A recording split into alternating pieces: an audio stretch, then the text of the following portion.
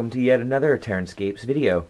Uh, this video showcases the urban barricades which were released actually with the uh, Ruined City set uh, sometime in the past but I'm going to put them up on the site as an individual item and I just wanted to highlight a couple key features of them um, so that people could understand them a little bit better. Uh, these are based on a jersey barricade design somewhat. Uh, jersey barriers have a lip in the front. I did a little research on this when I was thinking about designing a barricade. And what happens is as a vehicle hits these, they tip up and they lift up the undercarriage of the vehicle so that the uh, wheels will come off the ground and it'll slow down the vehicle more uh, successfully.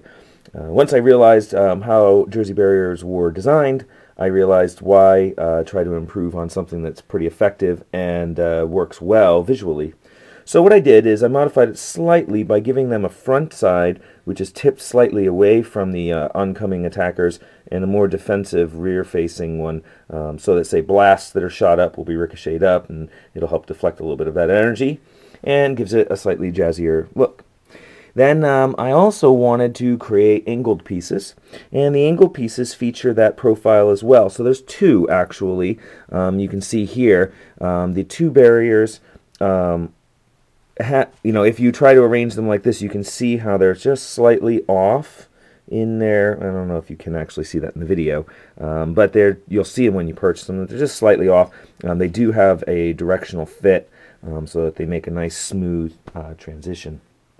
The barriers were designed to uh, be used with uh, 28 millimeter models such as 40K models so that models, uh, it reaches uh, just about waist high for a uh, infantry, um, so that makes it for an easy shoot over from a hip firing shot.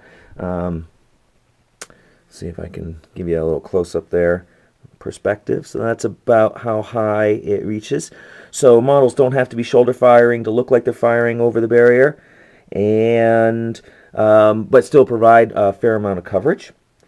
The other thing I wanted to do when I designed this set was to make it really inexpensive. I realized that I think people really would like something that looks a little nicer um, and is really flexible. So because these pieces are uh, uh, relatively short, it's easy to assemble them in a variety of patterns and you can um, purchase them relatively inexpensively and they're fairly easy for me to produce. That's where the real cost savings comes in.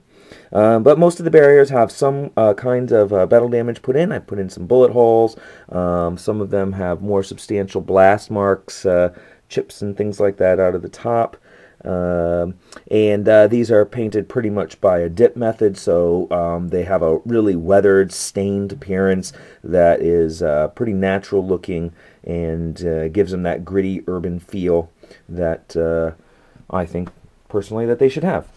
So, um, anyway, just a real quick look at them, real explanation of how their uh, form and function uh, work.